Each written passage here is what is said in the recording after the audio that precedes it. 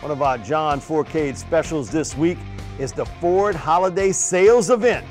Our brand new 2016 Mustang GTs, $4,500 total savings right here at Veterans Ford. Come on, man, you can't find a better deal. All 2016 Mustang GTs, $4,500 total savings right here in the heart of Metairie, Veterans Ford. We're back here on the John Fourcade Show. Mike Detillier along with John Fourcade. John, uh, we talked a little bit about it in the first segment. Saints played hard, and, and I like the effort in this mm -hmm. game. Uh, they lost to a better team, and I do think you, what you saw in this game was the microcosm of what this team needs to do in the offseason. But 41-38, the ninth team in NFL history to go 12 0 to Panthers, and I think they'll make it 13 0. They play Atlanta this week. You're talking about a team that's going down to shoot fast. Panthers almost 500 yards of total offense, but Cam Newton, 331 yards passing, five touchdowns. But John, here's the thing. Ted Ginn Jr. dropped two of them right in his hands, and he missed Ted Ginn Jr. on two of them. I mean, it could have been a lot more yardage-wise for Cam Newton, but at the end, it was Cam making the plays the Saints just couldn't get him off the field. Mike, we talked about it all year long. They just don't have the defensive help right. on either side of football. When you're at 16-13 at a halftime score and you lose 41 to 38, uh, it just goes to show you that you know there, there's some issues with this football club. And it, it you know, we, we, we talk about Brown all we want. Uh, if you and me and 50, 60,000 other people in that, that, stadium can sit there and say, wait a second, if I'm looking at Brown and he's playing this bad, why don't they see it? But I guess obviously they don't have anybody else to take his spot because that's a weak link on defense. You were right. You know, Ginn Jr. could have had two more touchdowns.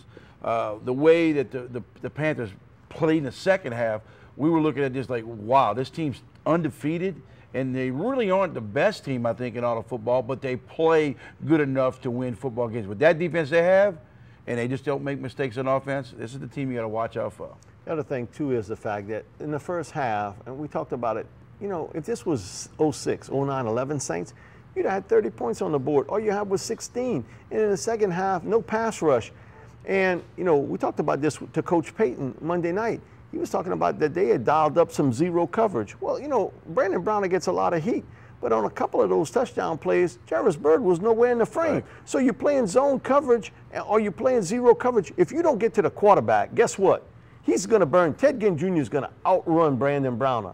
And on a couple plays near the goal line, you in zone coverage. Jairus Byrd's completely out of position. I'm not going to give him a pass on this. Listen, Jesse James had to wake up early in the morning, put that holster on, jump that train to rob it. He put his life on the line.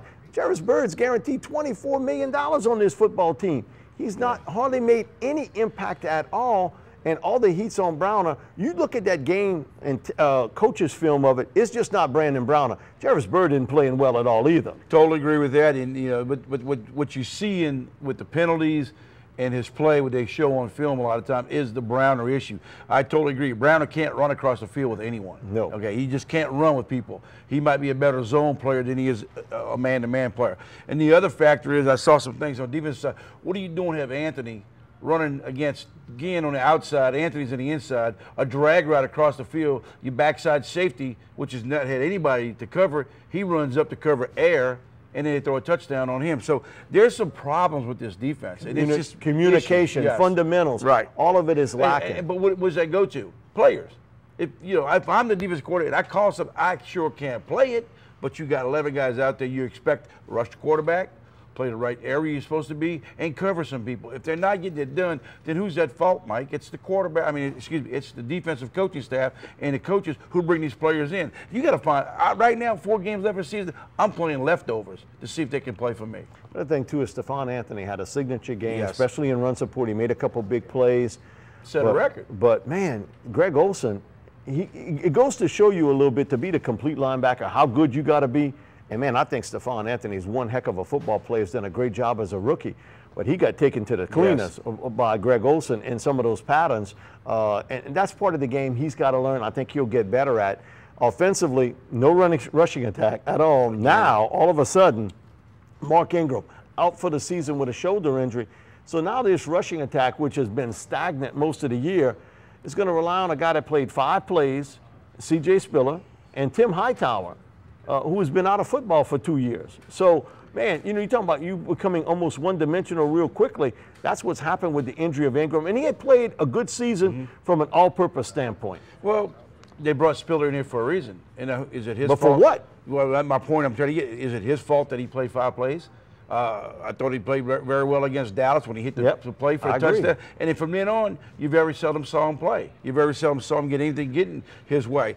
That's coaching fault there. Another problem with the coach. They don't believe him he can do it, then why even have him here? You spent that money on him. I think the guy can still play but you got to play I him. I think give him the football. Uh, watch what's going to happen. He's going to get his turn right now, and they're going to say, "Oh, wait, where was this all year long?" If watch him go out, break some plays, do some things for the Saints offensively, but it's going to turn back to what it's been in years. They're going to throw 45, 50 times a game now because they don't believe in their running game. Other thing too is Spiller's not a between the tackles type no. runner. You know, he's an edge guy, catch the ball coming out the backfield. But I think Sean Payton really likes Tim Hightower, and, and, he has spoken highly of him every time he's had that opportunity. I think when the Saints are going to try to run the ball, I think Hightower becomes the go-to guy instead of Spiller. I think Spiller will split the carries as a runner receiver, but I really got to believe that when they're going to want to run it, it's going to be Hightower rushing the ball between the tackles. Well, when you only run it 12 times, 14 so you can split that pretty good. Mike, okay, who's back here running? When you're only run it 12, 14 times a game, you can put eh, you can bring back Chuck Muncie and those guys and see bring back Dalton Hilliard. They'll be more than happy to carry you know six, seven times a game. But it's embarrassing to look at your offense and you don't run the football enough to help you know Drew back there. He's going to get pounded in the rest of these football games if he has to throw 40 something times a game. Yeah, and that's what basically we're looking at. They also think, uh, you know, it's showing up, and we've talked about it almost from week one to today. The lack of a pass rush uh, is just not there. In the second half, you saw Cam Newton sitting back there. A lot of times, him moving around. He had a lot of time mm-hmm. to throw the football. And in this game, if you don't put pressure on the quarterback, you can dial up all the schemes you want. It's not going to work. You've got to be able to affect the quarterback's launching pad. They didn't do any kind of effect on Cam Newton at all. Well, you got a guy like him who can move around, scramble. You don't put any pressure on him. One sack's not going to win your football games, especially with a guy like him back there. You know he's strong enough, big enough. You got to try to do something defensively, and it all balls down, Mike. If you don't have the players, you just can't play. That's bottom line. But uh, you know, one play he kind of did a little lollygagging as he went to the goal line, and Michael Mauti lit him up, but, but good on that play. I don't know where the protocol for concussion was on that, but I'll guarantee you he was knocked at tomorrow on that play, and uh, so it was one big hit by Mike Mauti. We'll be back with more of the John Fourcade Show, sponsored each week by Veterans Ford.